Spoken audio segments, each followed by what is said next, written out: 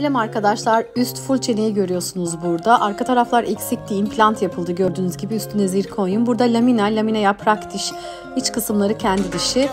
Ee, gördüğünüz gibi bu Imex arkadaşlar.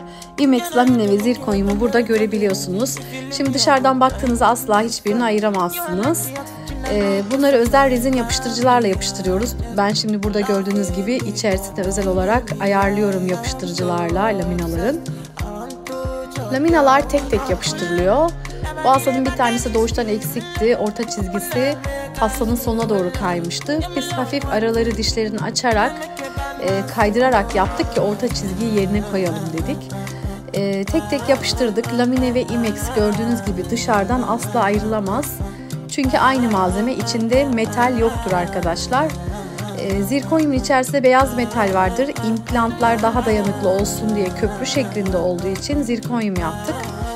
E, en son olarak şimdi bu e, laminaları yapıştırdıktan sonra e, böyle elimize iyice ittiriyoruz ve oturmasını sağlıyoruz. Bu provasıydı arkadaşlar. Bu da bitmiş hali. Sizce nasıl olmuş? Hasta çok doğal duruyor hocam. O kadar memnun ki diyor. Görenler ayıramıyormuş. Ee, vallahi sizce nasıl? Sizin yorumlarınızı çok merak ediyorum. Bu da ilk hali. Sol tarafı içe çökmüş gibiydi. Bir dişi eksikti. Bu da öncesi